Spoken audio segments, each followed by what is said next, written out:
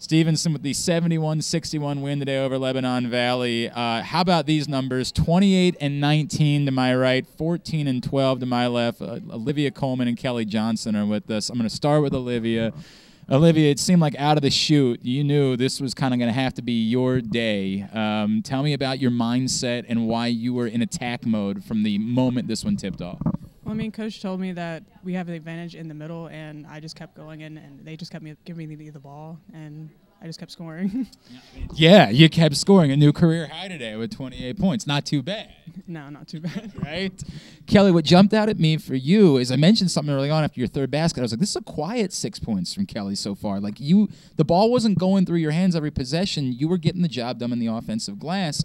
How important was it for you to say, hey, look, even if the ball's not coming my way, I got to stay in here and be ready to make those plays? I mean, definitely. Um, I know for me, I always kind of battle the size route. So you got to capitalize on the quickness, and our team is pretty quick, so we knew it was going to be a key to get offensive boards, and luckily that's what kind of got us into it. We went down a little bit at first, but then offensive rebounding really turned it around for us.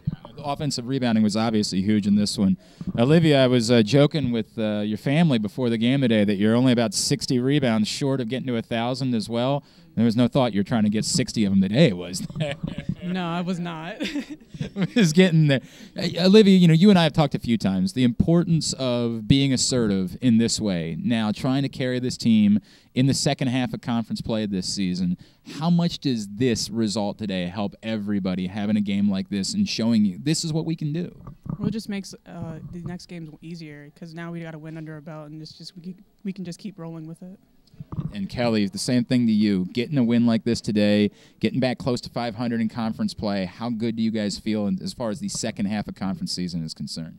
I think we're hitting right where we need to be. Obviously, second half of conference play is when it comes down to the wire, and we're starting to convert when we need to. We're clicking when we need to. So it's we're definitely on the uphill. All right. Olivia's been to give a ton of shout outs recently, so I'm going to give them to you. Who do you want to shout out?